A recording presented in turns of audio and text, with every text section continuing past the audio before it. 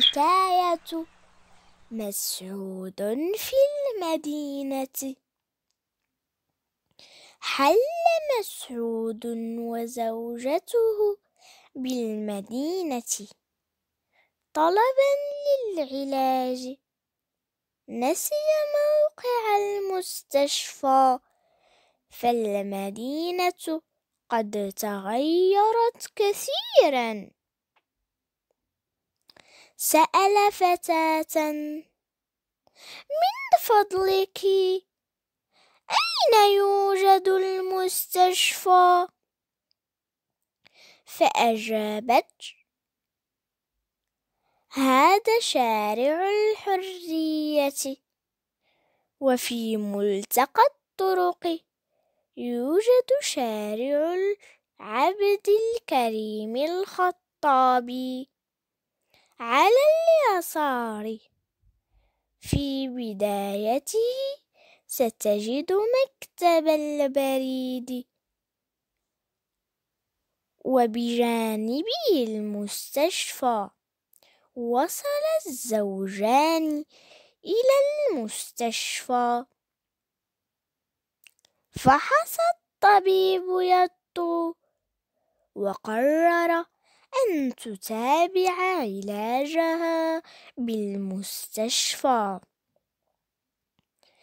رافقت الممرضة يطو إلى قاعة الاستشفاء وقالت لها هذا سريرك وهذه أغراضك. ترك مسعود زوجته في المستشفى وخرج جاب شوارع المدينة.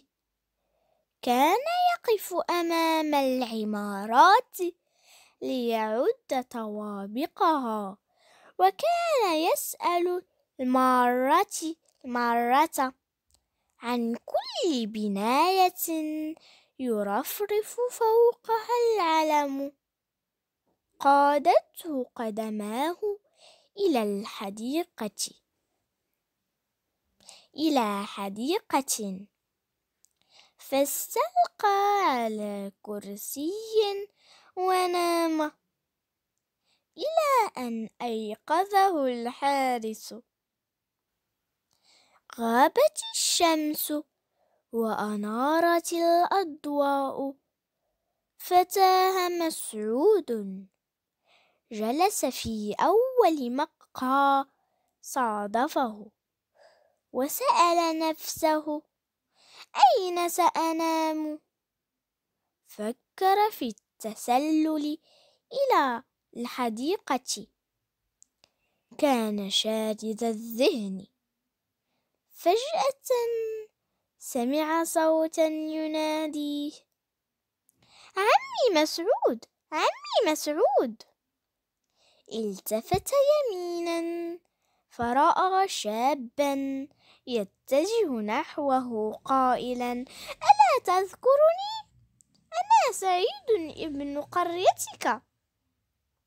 حكى مسعود مشكلته لسعيد.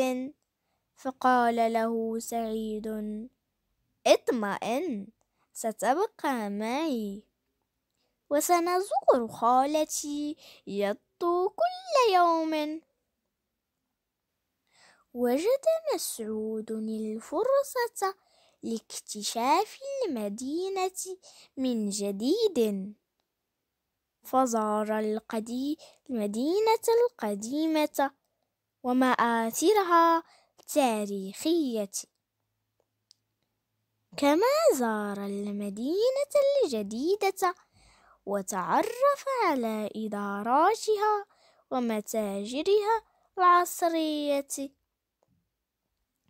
غادرت يطو المستشفى بعد خمس خمسة أيام. استقبلها مسعود وسعيد. ركبا سيارة سعيد وعاد بهما إلى القرية.